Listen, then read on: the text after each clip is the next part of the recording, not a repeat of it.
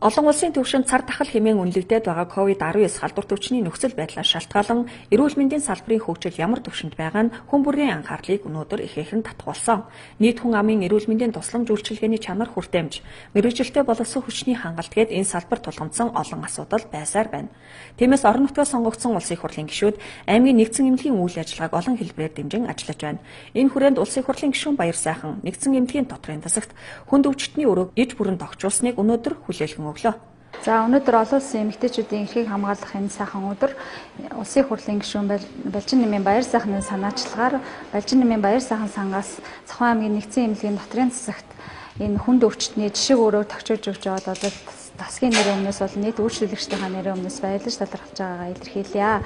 За дээрэс нь энэ дотрын засаг маань бол жилдээ нэг 1300-аас 1400 үйлчлүүлэгч хэвтэ эмчлүүлдэг байгаа. Үүний нэг 10-аас 14% буюу 140 орчим өвчлөн бол энэ өрөөгөр дамжин ингэж эдгэрэж эмчлүүлдэг байгаа. Тэгээд энэ өвчтнүүдэд маань эмнэлэгт эмчлүүлэхдээ бол тогтоо тухтай орчин олон үйлдэлтэй одоо ийм өвчнийх нь үед тохирсон ийм функционал ор за бусад одоо ийм ахуй нөхцөл тохирсон томнод хөрөмжөөр хангаж өгсөнд бол нийт үйлчлүүлэгчдийн хамнаас баярлаж байгаагаа илэрхийлье цаг үеийн онцгой нөхцөл байдлаас үүдэн өөрийн биеэр хүрэлцэн ирж амжаагүйч энд хүнд өвчтнүүдэд тун хэрэгтэй тоног төхөөрөмжөд бүрэн сурлагдсан учраас бие төлөөлөгчөөрөө дамжуулан ийхүү цаг алдалгүй шуурхай хүлээлгэн өглөө.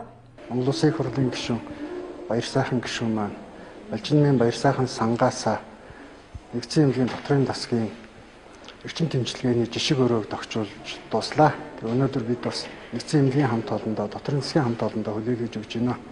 Цаашдаа Балжинмын баяр сайхан сангаараа дамжуулан манай гишүүн маань Завхан аймгийн эрүүл мэнд боловсрол, нийгмийн хамгаалал, эмэгтэйчүүдийн бизнес эрхлэлт, хөдөлмөр эрхлэлт, хүүхдийн хүчирхийллийн талаар нэлээдгүй олон ажлуудыг хийнэ. Түүний нэг эхлэл нь бол энэ өнөөдрийн дотрын засгийн эрчим тэмцлэгээний жишг өрөөг тогтчулж байгаамаа. Эрчим тэмцлэгээний жишг өрөөний тавилга тоног төхөөрөмжүүд маань Европын стандартт нийцсэн Linet брендийн эмчилгээний ор бусад тавилгууд нь Шведийн Аки брендийн тавилгуудыг э, тавьж засвар үйлчлэгээ бүх юм хийж өнөөдөр хүлээлгэж өглөө. Цаашдаа эрүүл мэндийн салбарын ажилтан албан хаагчтай нийт үйлчлүүлэгчтэй эрүүл энх сайн сайхныг хүсэж эрүүл байвал бүх ажил бүтнэ гэж өрөөё. Байгуулагдаад удаагүй байгаа Балжинмын баяр сайхан сангаараа дамжуулан цаашид орон нутагт тэр дундаа эрүүл мэнд боловсролын салбарт олон шинэлэг үйл ажиллагааг дэмжин ажиллахажээ.